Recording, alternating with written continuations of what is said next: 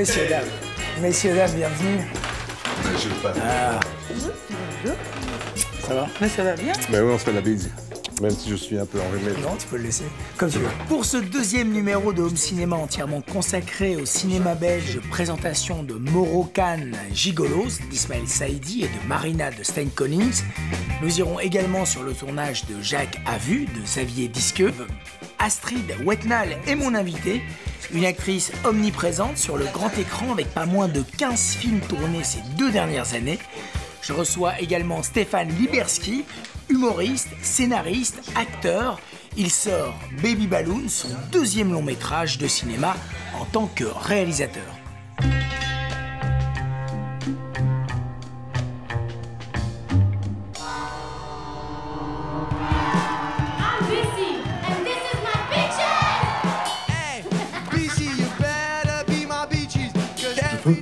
Mitch Brook, un ami de ton père, tu me reconnais Moi j'adore ce que vous faites, ça m'intéresse à mort. Busy, excuse-moi, est-ce qu'on pourrait pas te poser deux, trois petites questions Quand je vous dis Dossi, bah dites parce qu'elle est grosse comme moi. Explique-moi un peu ce qui s'est passé euh, sur ce tournage, parce que c'est une histoire de fou en fait. C'est-à-dire que c'est un film sur lequel j'avais travaillé, mais épisodiquement sur le scénario. Ouais. Et puis Versus m'a appelé pour reprendre le relais et le réaliser. Et c'était, j'ai eu trois jours de prépa. Et bon, j'ai fait, j'ai réalisé le film, quoi. Alors que tu avais ton projet Alors que japonais Voilà, c'est ça. en chantier depuis un moment. En chantier depuis un moment et qui avait été interrompu par le tsunami, par, le- par Fukushima. Et puis il y a eu euh, ben, le tournage de Baby Balloon. Et euh, ben, j'ai pas arrêté depuis. Il m'a embrassé hier soir. Je peux encore le sentir quand je ferme les yeux. Si T'as mangé? J'ai pas faim. T'es grosse de quoi alors, hein? Du temps qui passe. Allô, Vin, c'est moi. euh. Ouais, Vin, ça va? C'est moi. Putain. Il faut créer la séduction, la proximité. C'est un duo, homme-femme. Écoute, Bissy, euh, faut que je te parle. De quoi? Bah, ce qu'il y a eu. On avait dit personne en répète. Personne, c'est personne. T'es taré, Bissy. Et même pas. Qu'est-ce que je dois faire Dis-moi. Tu veux être alcoolique en plus Ton père, au moins, il était mince. Mais tais-toi Tais-toi C'est trop grand, trop fort. Il a peur. Je serais fier de toi, ton père, tu sais. Il me disait, les femmes ballons, elles m'emmordent.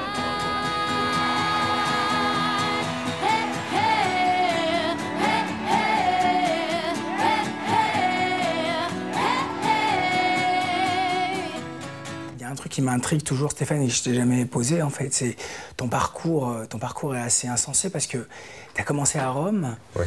et tu as commencé comme, comme assistant, euh, ou alors, je sais pas, tu as dû travailler euh, au fond Euh, du oui. ou je, je Oui, sais C'est pas. un peu ça. hein, c'est- Mais, mais sur un film absolument incroyable de, de Fellini, qui est, qui est un de mes films préférés, qui est La Cité des Femmes, euh, qui est un film incroyable. Comment c'est c'est- c'est- c'est arrivé, ça? Eh ben, écoute, c'est tout simple. J'ai rencontré Liliana Betti un festival euh, de cinéma à Venise, hein, à la Mostra. T'avais quel âge J'avais 30 ans. Elle m'a invité à venir sur le tournage. Elle m'a dit, mais ça, il faut vraiment que tu vois ça, que tu viennes et que je te présente à Fellini. Évidemment, moi, c'était un peu une sorte de dieu vivant. euh, et euh, je suis rentré. À ce moment-là, j'avais un restaurant à Bruxelles. Et je l'ai vendu. Et, avec- et je suis parti à Rome.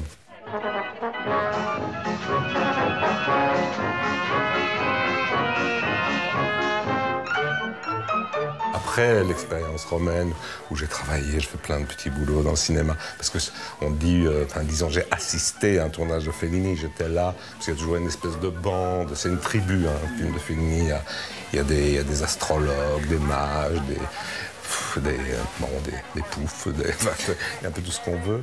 Et, euh, et bon, j'étais dans cette bande-là, on se fait accepter plus ou moins en faisant des petits trucs. Alors après, je suis resté à Rome parce que je voulais travailler là, etc. Ça a été très difficile parce que c'était un, moment de crise aussi à Rome dans le cinéma. Le, le cinéma commençait à péricliter tout à fait. Euh, c'était la fin, hein, c'est la, la fin de, de la comète. hein, les derniers films de Fellini. Donc t'es revenu après, ensuite t'es revenu à Bruxelles. Je suis revenu à Et T'as Bruxelles. commencé à faire de la télévision, de la bande dessinée qu'on connaît bien. Il y a eu Les Snuls, il y a eu Jade Tolly, il y a eu ta collaboration avec Janin. Ça. Et, et cette envie, cette envie tout le temps de faire du, de faire du cinéma. Oui, oui. Mais de- de- ça a toujours été un petit peu. même le, le- tu vois, les snuls, c'est de l'image quand même. Déjà, Tolly, c'était de l'arte povera, la, enfin de la télé povera, mais c'était de l'image, de l'écriture, du jeu. Ça a toujours été ça. En, en- en petit, mais euh, finalement. Il y a, c'est- c'est c'est comme euh, Fellini les marionnettes et Fellini euh, à la Città delle Donne. Et quoi, tu vois, tu as, en petit, je faisais ce que je voulais faire. Et vous vous êtes rencontrés sur ton premier long métrage, C'est vrai. sur Bunker Paradise, Ouais, ouais, ouais, c'est vrai, c'est qui est une de tes premières expériences au cinéma. Ouais, et En long métrage. coupé. coupé au montage. Ça arrive tellement souvent. Je suis désolé Mais tu sais encore. que non, non, j'étais tellement fière, tu te rends même pas compte. C'était- Je crois que c'était ma première expérience au cinéma. J'ai jamais eu aussi peur de ma vie, je me rappelle encore. C'était une scène de directrice de casting, tu te souviens, c'est avec Telly. Ouais, c'est le premier qui m'a mis au cinéma. Même si elle a été coupée, c'était ta première expérience de long métrage, parce qu'il y a eu des courts métrages avant. Oui, oui, il y avait des courts-métrages, mais c'était ma première expérience de long-métrage. Avec des acteurs connus qui te font peur, tu sais, avec euh, des grandes équipes où tu viens pour un jour et tu crois que tu vas mourir, que ton cœur va exploser. Voilà, c'était avec lui. Tu t'es bien. Mais et donc, et, et vous êtes revus, vous êtes revus sur le téléfilm que tu as réalisé euh, il y a quelques années, euh, Oui. Chantier Monsieur Tanner. On s'est revus aussi sur un court métrage que j'ai fait avec euh, Bouli Lanners. s'est rencontrés là On s'est. euh, Rencontré sur le court-métrage de L'herbe sous le pied. voilà, avec Bouli. c'est ça. Ouais, c'était une avant. grande Ouais. bourgeoise qui fume des joints. Ouais. Elle fait ça très bien. Ouais. Ouais. J'ai appris plein de noms d'ailleurs, de drogue dessus. Tu as l'affiche dans Moroccan Gigolos, donc une comédie populaire euh, belge de chez nous, c'est ça? Voilà, d'Ismaël Saïdi. Ouais.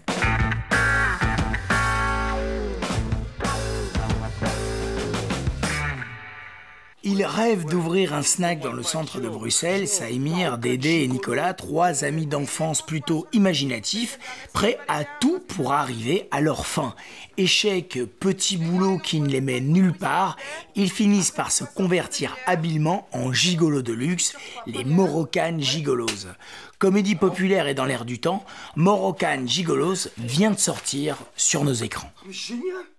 À la fin du mois, promis, on vous amène le reste de l'argent.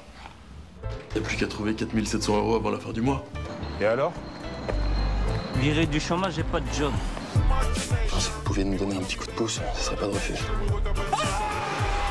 L'enchaînement est, est assez, est assez euh, euh, simple, c'est qu'en fait, ben, un jour, en roulant en voiture, ils, ils ont un accident de voiture et euh, ils se retrouvent face à une femme, une belle femme qui, euh, qui, qui est un peu sonnée et qui leur propose de remplir le constat chez elle parce que là, elle peut pas le faire. Et l'un des protagonistes ben, la suit chez elle et se rend compte qu'elle veut un peu plus que le constat et surtout qu'elle est prête à payer pour ça. Combien tu coûtes? Disons que, que j'ai envie de m'offrir un petit câlin et que je veux savoir combien je dois payer pour me l'offrir. T'as payé? 200 euros? Si tu tapes 3 femmes par jour, 5 fois par semaine, tu sais combien ça fait? Je suis pas une pute, les gars. Euh, c'est un trio, euh, c'est un trio qui représente pour moi un peu euh, la Belgique, Bruxelles que je connais. En fait, ce mélange de cultures. Euh, J'ai toujours que ces trois mecs en fait qui euh, qui sont très différents et qui ont en fait comme unique point commun le fait qu'ils soient belges. Ah, Moi, je suis partant. Ouais, reste à les trouver, les clientes. Moi, je les connaissais pas, euh, ni Reda, ni Eddy. Euh, on on s'est rencontrés euh, une semaine avant le tournage. Et on, en fait, on a essayé de créer, on a essayé de créer euh, je pense, voilà, une, vraie complicité pour que pour qu'à l'écran, euh, ça soit plutôt naturel. Parce qu'en fait, c'est des mecs qui sont qui, s'aiment tellement et qui sont tellement confortables les uns avec les autres, qui, qui se permettent de justement s'envoyer des vannes et de et de se foutre de la gueule l'un de l'autre. Et, et du coup, pour que ça, ça passe, il fallait qu'on ait un petit, une petite aisance au départ. Pas niquer une meuf à trois, les gars. Mais non, idiot, chacun sa meuf, mais on met l'argent dans un pot commun. L'ambiance elle est super bonne, on n'arrête pas de se marrer, on on n'arrête pas de rigoler. euh, et c'est ça qui donne toute l'atmosphère au film. Quoi. Je moi, j'en suis convaincu en tout cas. On est un pays, où on est des rois, un peu comme les Anglais de, de l'autodérision. Je veux dire, on tourne tout à l'humour et ça marche. Et on est reconnu mondialement pour ça. Et, Quand il s'agit de faire une comédie, on a l'impression qu'il y a une frustration en Belgique, on ne peut pas faire ça. Euh, alors j'ai beaucoup de respect pour les drames sociaux, pour les films sociaux, pour tous les genres. Mais à un moment donné, ce qui se passe, c'est qu'il y a un genre qui n'a plus le droit euh, à la parole, c'est la comédie, parce qu'on a directement l'impression que ça se monte facilement. Ouais, tu fais une comédie, tu vas, tu trouveras vite de l'argent, ce qui n'est pas vrai. C'est un genre mineur. Et je trouve ça triste parce que c'est quand même un art qui, s'il est bien fait, rassemble les gens. J'ai envie de raconter des choses et je m'en fous du support. Euh, j'ai créé une web série que j'ai que j'ai produit, écrite et que j'ai fait réaliser par, par l'autre réalisateur, qui a bien fonctionné aussi sur Internet. Le support m'intéresse peu, je suis un enfant du numérique, donc je veux dire, euh, ce qui m'intéresse moi, c'est de raconter des histoires et je ne sais pas m'arrêter de le faire. Donc effectivement, j'ai une carrière fournie, parce que je crois que je suis hyper actif à mon avis. Et, là, donc c'est mon deuxième long métrage cinématographique et c'est un de mes nombreux euh, projets. Moi, j'adore le travail d'Ismaël parce qu'il avait fait une série qui s'appelait Rhemo. Donc, c'est du wallon, Rhemo. Et euh, dans cette web série, euh, elle a cartonné au Maroc. Elle a été vue dans le monde entier grâce aux paraboles et tout ça. Et euh, il a vraiment un univers particulier. Je crois qu'il est différent de nous, les êtres humains, à la base. Mais euh, je sais pas, j'ai jamais vu un mec capable d'écrire une scène comme ça. Je suis très curieuse de savoir comment vous avez fait pour trouver l'argent pour le local et les travaux si vite. On a fait des heures sup. Beaucoup d'heures sup. J'ai essayé l'africain, il est génial. Toi, je t'ai pris le marocain. Le quoi? Écoutez-moi, jeune homme. Ne mentez plus. Et ne téléphonez plus jamais ici, dans cette émission, pour Maman. raconter des horreurs et des mensonges. Parce que c'est très grave. Et Dieu ne le pardonnera pas. Et votre mère non plus. Maman. Non, je suis désolée. Ça non. Ça non. Maman. Depuis euh, Au nom des fils, euh, tu enchaînes euh, film sur film. On t'annonce dans je sais pas combien de films en 2013 et 2014. Là, je suis en train de toucher du bois quand tu Ouais, me parles. ouais, non, mais c'est c'est vachement, vachement bien. Comment tu vis tout ça tu, tu, tu, tu, tu travailles, tu rencontres, tu. Bah oui, je, suis- je suis très heureuse. J'ai toujours travaillé, franchement. Mais autrement, tu vois, j'étais au théâtre, je faisais des courts-métrages, on était à, à l'origine de courts-métrages, donc j'étais pas très frustrée. Mm. J'attendais pas, en fait, qu'on me cherche pour un grand rôle, tu vois. J'y ai jamais vraiment cru, donc, euh, donc j'ai pas eu le côté frustration, tu sais. euh, mais maintenant, évidemment, c'est chouette, parce que c'est des rôles plus intéressants. Bah, au nom du fils, c'était... euh, c'est un super beau cadeau que Vincent m'a Ouais, fait. c'est un cadeau assez, assez large. Tu peux montrer beaucoup, beaucoup de choses dans un film comme ça.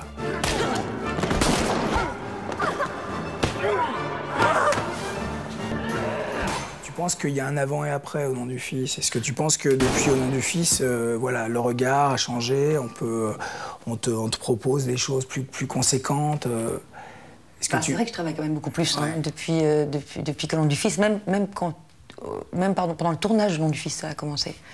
Mais peut-être parce que. bah, déjà, Vincent, tu vois, c'est- Vincent Lano, le réalisateur. Ouais, vous avez, vous avez une expérience ensemble, c'est-à-dire que euh, vous êtes rencontrés il y a Sur qui- un- voilà. Je disais une phrase dans Vampire.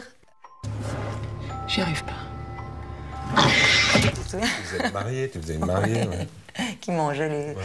Et, euh, et puis, et pour ça, il est vraiment courageux, parce qu'il n'y a pas beaucoup de réalisateurs qui le font, et puis c'est difficile le cinéma, mais il m'a donné un très beau second rôle dans Little Glory. Donc déjà, là, j'ai commencé à plus travailler, parce que, parce que du coup, j'avais montré quelque chose, et donc ça rassure aussi les gens, Ouais, c'est normal. hein. Et puis, il m'a carrément donné un premier rôle euh, avec le rôle d'Elisabeth Delabé dans Au nom du fils.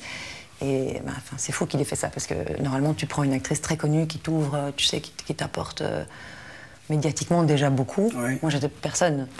Donc, c'est vraiment un cadeau incroyable. Quoi. Ouais, mais enfin, après, ça, c'est une conviction de metteur en scène. C'est-à-dire qu'à partir du moment où un, où un metteur en scène est convaincu que son actrice, euh, bah, c'est la bonne, tu vois, pff, tout le monde peut aller contre, hein, tout le monde peut dire, euh, ben non. Et, enfin, après, ça, c'est le travail. C'est aussi hein, le travail d'un metteur en scène, c'est de se battre pour ses idées euh, et de ses convictions.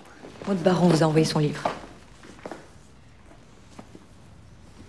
Et Monsieur Tinonotti a appelé. Madame Nassim a perdu ses cartes de crédit. Et alors? Et elle souhaite que vous lui payiez l'hôtel. Elle vous remboursera. Bah, Costa Gavras, en tout cas, je sais que euh, quand je l'ai rencontré. Sur le capital Ouais. Ouais. Euh, oh, c'était vraiment chouette. Enfin, moi, c'est un peu mon idole, hein, tu vois, depuis toujours. Et, euh, et je sais que c'est au- grâce à Nom du Fils, mais alors qu'on était. euh, on venait de finir de le tourner, c'est parce que je lui raconte. Tu sais qu'il il reçoit lui-même tous les acteurs de son film. Donc il n'y a pas de directeur de casting. Je crois qu'il y en a un dans Londres qui lui envoie les gens, tu vois. Et il reçoit donc. euh, et au départ, c'était un tout petit truc, euh, genre une secrétaire, je pense. Et c'était euh, deux, trois jours de tournage. Excusez-nous, si vous voulez pas venir, on comprend. Puis je l'ai rencontré, puis je lui ai parlé du nom du fils, puis on a parlé pendant longtemps de plein de trucs, parce que tu vois, il aime bien, tu sais, Amen et tout ça. Et puis, donc, tu vois, ça m'a apporté déjà, je pense ça, parce qu'après, c'était trois jours, puis cinq jours, puis finalement, je suis restée 15 jours. 15 jours de zone Oui, mais ça se voit pas beaucoup. Mais, mais euh, oui, oui.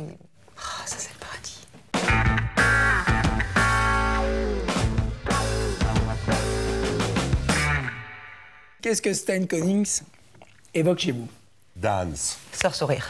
Bah, bravo, vous êtes vraiment fort. Marina. ça, ça- Marina. Marina, Ah, ça, Marina c'est le maintenant. film qui tourne maintenant. Non, qui date, qu'il a terminé de tourner. Bon, bah écoute. Qu'il a terminé de tourner, qui sort maintenant. Quatre ans après Sœur Sourire, Stan Connings, le réalisateur flamand révélé par l'incontournable Dance, sort Marina. Le film qui retrace l'histoire de Rocco, jeune immigré italien débarquant en 1948 dans Limbourg, la Belgique étant selon la propagande de l'époque la terre promise. Une histoire basée sur les souvenirs d'enfance du chanteur Rocco Granata, devenu célèbre grâce à son tube Marina. Le film présenté en sneak preview le mois dernier a reçu un accueil particulièrement enthousiaste de la part d'un public pourtant non averti. Marina sort sur les écrans le 6 novembre.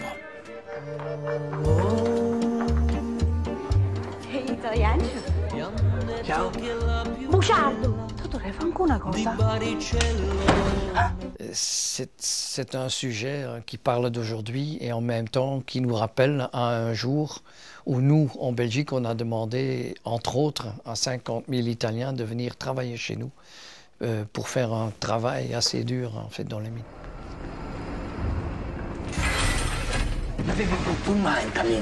Pour moi, ce film n'est pas euh, un biopic dans ce sens que ça raconte pas la vie de, Rocco Granata, ça raconte juste une partie de sa vie et qui est pour moi justement une histoire universelle. Et donc, au lieu d'inventer tout, euh, ben, j'ajoute des, choses très personnelles.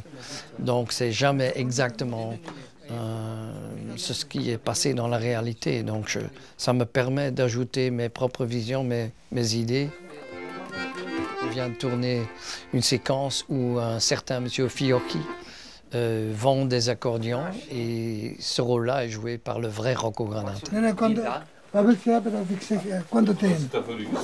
Comme j'étais très touché quand même par toutes les discussions sur les sans-papiers, par exemple, hein, j'ai j'ai fait des recherches moi-même à Gand, à Bruxelles, euh, pour voir et rencontrer des familles. Et donc, euh, je reconnaissais une partie de, l'histoire des Italiens dans ce que j'avais entendu, entendu à Bruxelles.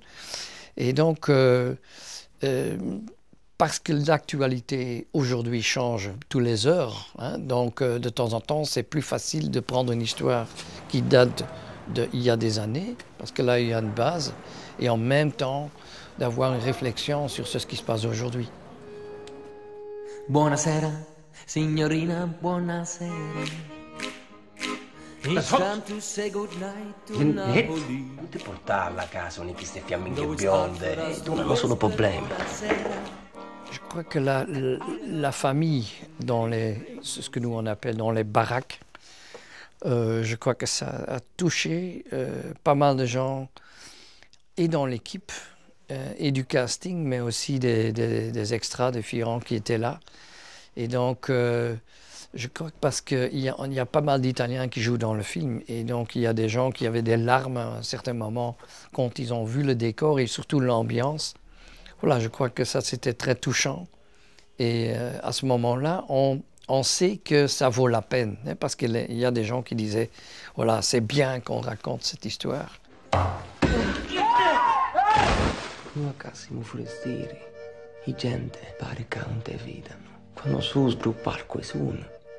Allora sì che mi viene. Amore.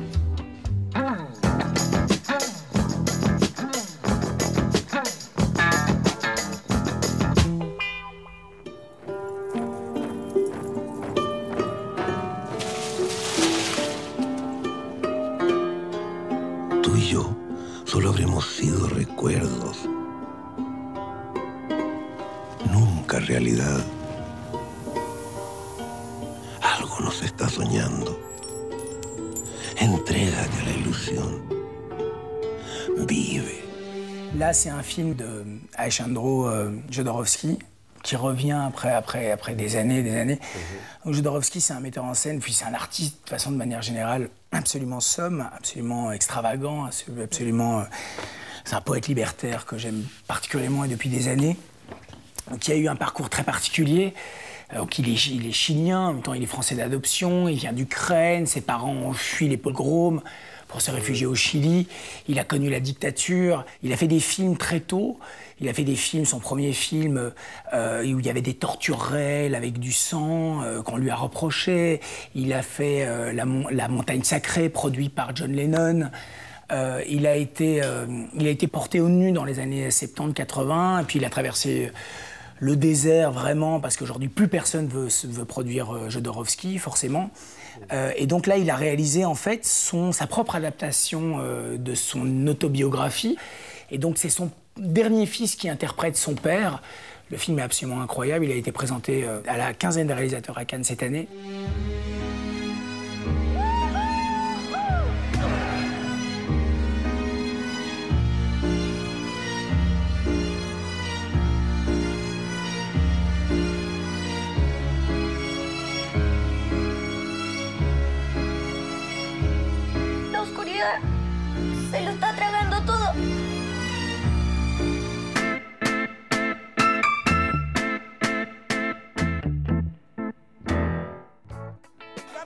Cet été, l'écrivain scénariste Xavier Disqueux veut tourner Jacques a vu, son premier long métrage comme réalisateur, sur les déboires de deux citadins ayant fait l'acquisition d'une maison dans les Ardennes. Rencontre avec le réalisateur, mais aussi ses comédiens, Nicolas Boyce et Christelle Cornil, lauréate d'un Magritte en 2011. Comédie rurale pittoresque, surréaliste. Voilà. C'est une euh, comédie pleine de tendresse. Ah, c'est une comédie qui allie à la fois un humour euh, visuel. C'est une comédie aussi qui est une comédie d'écriture, parce qu'il y a des scènes qui, à l'écriture déjà, nous ont beaucoup fait rire. Je pense à un, autre regard sur, euh, sur ces villages ardennais un petit peu perdus. Ces villages très catholiques, tels qu'ont pu l'être Borin ou Banneux avec ses, ses pèlerinages. Un autre regard peut-être aussi sur, euh, sur la naïveté.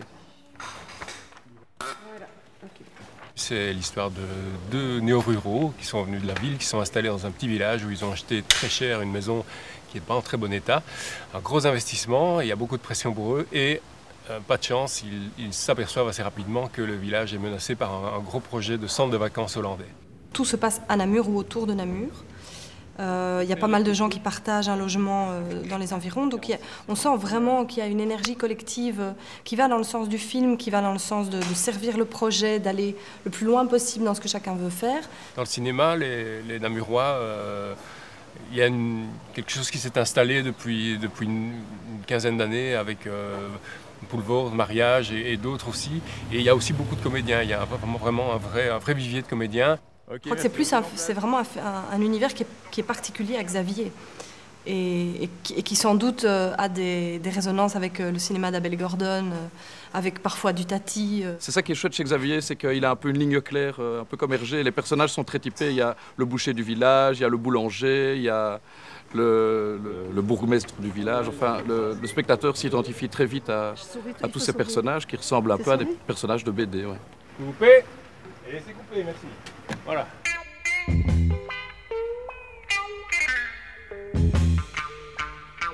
Je vous propose de rencontrer Marie. Donc Marie qui, euh, Ma- Marie qui vient de tous les mois. Donc, Parler d'actualité du cinéma, du cinéma belge surtout. Mais alors dans l'actualité du mois de novembre, c'est les 75 ans de la Cinémathèque. Je ne sais pas si vous le savez. Euh, la Cinémathèque, c'est quoi? Ben, Pour ceux qui ne connaissent pas, euh, ben, c'est des salles de projection à Bruxelles. Anciennement, on l'appelait le, le musée du, du cinéma, hein, bien Mhm. sûr. Mais c'est surtout derrière une collection qu'on nous envie un petit peu partout dans le monde de 150 000 films, euh, quand même. Euh, voilà, qu'on pourra découvrir d'ailleurs euh, dans le courant du mois de novembre. Et le week-end du 16-17 euh, novembre, euh, Jacob Van Dormel viendra parler scénario. Mhm. D'autres cinéastes belges aussi. Euh, les écoles du cinéma seront mises à l'honneur. Donc voilà, ce sera un petit peu l'occasion de faire la fête au cinéma et au cinéma belge. Vous avez déjà vu, vous, cette caverne d'Ali Baba euh, Le- de la cinémathèque. L'endroit où on range les films, j'ai jamais été. J'aimerais Jamais bien. non plus. j'aimerais À la cinémathèque, voir. oui, mais pas, pas la caverne. On peut y aller Vous pourrez, vous pourrez le Ouais, découvrir, oui. bah, c'est le week-end Ah, du, oui. du 16 et du 17, euh, du 17 novembre. La, la- la- la cinémathèque euh, de, de- de Belgique est quand même très très spécifique, c'est-à-dire que c'est vraiment un temple défendu par Scorsese, par Tavernier, par Tarantino. C'est vraiment une des plus grosses collections du, au monde. Oui, oui. Alors, bah, au niveau de- des sorties cinéma, Mathias Kuhnart, euh, vous connaissez, hein, j'imagine oui. certainement, qui a été révélé dans, dans Runscope et qui explose littéralement aux États-Unis, il tourne en France aussi, euh, bah, joue un second rôle. Euh, il est actuellement au cinéma dans un film de Guillaume Canet, un thriller. Euh, voilà, à voir. Tu l'as vu Oui, c'est En bien. avant-première. Je crois qu'ils ont remonté, ils ont refait le montage depuis Cannes. Je l'ai vu à Cannes en fait. D'accord. D'accord. Il fallait remonter, quoi. Non, non, je crois qu'ils l'ont un peu raccourci. C'était long. Non, non, c'est très bien. Et puis surtout lui, il est fantastique évidemment. Euh, c'est pas lui qui va défendre nos couleurs aux Oscars, quand on parle des États-Unis, euh, mais c'est le film de Félix van Groeningen, euh, The Broken Circle Breakdown. Euh, je sais pas si vous avez eu l'occasion de le, découvrir, c'est un film qui vaut vraiment, euh, vraiment la peine. Pareil. Euh, voilà, donc petit rappel, il défendra nos, nos couleurs euh, aux Oscars. Très il a déjà reçu le, le prix du public à Berlin. Donc voilà, on, on croise les doigts. Très talentueux, très talentueux. La merditude des choses, c'était juste euh, incroyable. hein. Ouais. Mais voilà, je pense qu'on a fait le tour de toutes les actus de, de ce mois de novembre. Ben, très bien. Merci Marie. Merci Astrid. Donc, Mathias Kuhnart, Jodorowsky. Marina, Jodorowsky. Marina, Jodorowsky, Astrid bientôt au cinéma. Astrid bientôt au Plein cinéma. de films. Stéphane bientôt dans Baby Balloon le 20 novembre et en, au printemps 2014, Tokyo fiancé. Moi, je vous remercie beaucoup d'avoir été avec nous Merci à vous deux. pour cette deuxième émission. Merci. Home Cinéma, c'est terminé. À très bientôt.